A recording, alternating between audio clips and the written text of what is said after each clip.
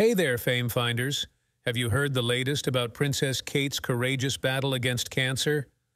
Last Friday, the Duchess of Cambridge shared her journey, revealing she's undergoing preventive chemotherapy.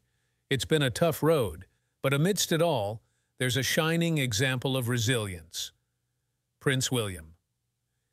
In a heartfelt response to William, Piers Morgan, known for his unfiltered opinions, had just four words to say, You'll make a great king. Piers highlighted William's unwavering strength in the face of personal tragedies, praising his show must go on attitude.